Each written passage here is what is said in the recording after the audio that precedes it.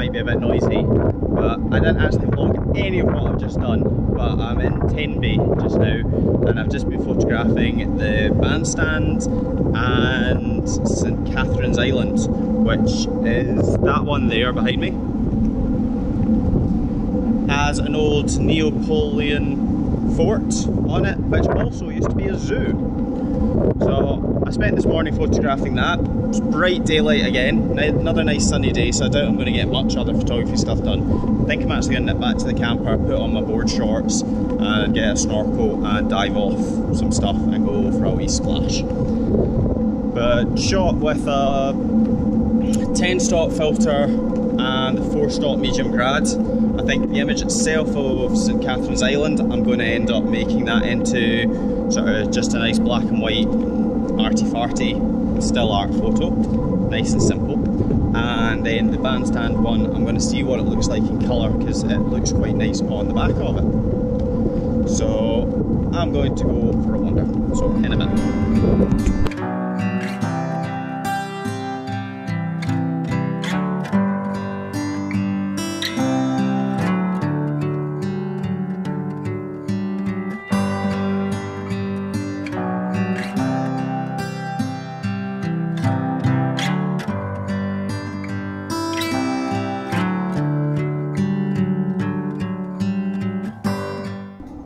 So I've wandered a bit further and I've come along Northcliffe Road, I think it's called.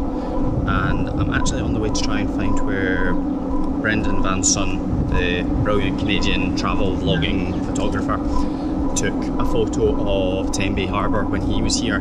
He did a great series, I'll post a link to his wee playlist up in the corner, and it gave me a few inspirational things for what I was going to shoot. So I've got myself over here, and see this is brilliant, I can walk and talk to you.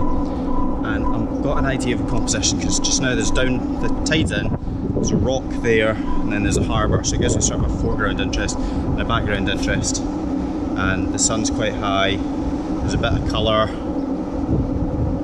don't know, we'll see. I'll give you a wee pan and show you everything that I've got planned.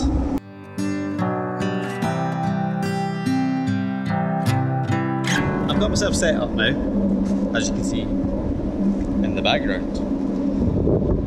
I've tried to get myself along the lines where Brendan Van Son's photo is from, but I believe it might be further around there, actually on the road. I found this wee parky bit that I've come into.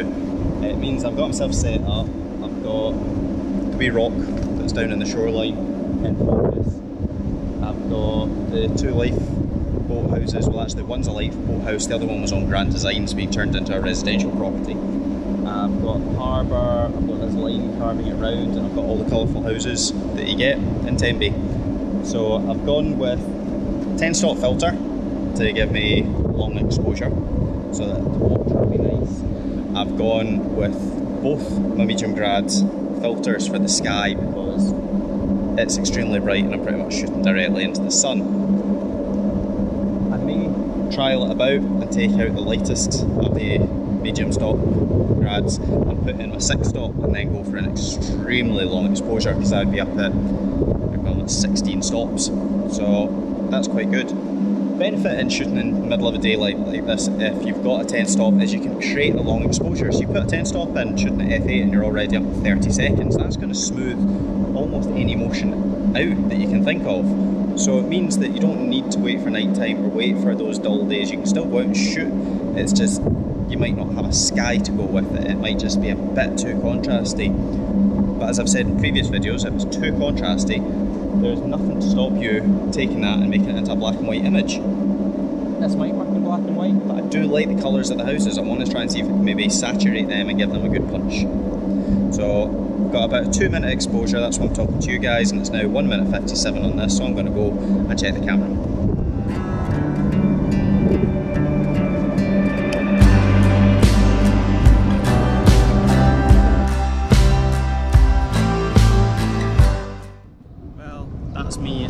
At that bit. So this is the photo that I've got.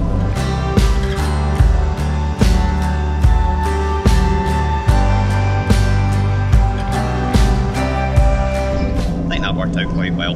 Nice long exposure, bit of detail in the sky and a bit of colour. Right, anyway, as usual I'll say it. in a bit.